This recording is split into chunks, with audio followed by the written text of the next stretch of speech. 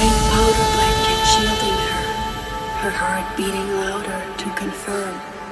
Lying on the frozen lake, snowflake caught in her lashes, she was ready to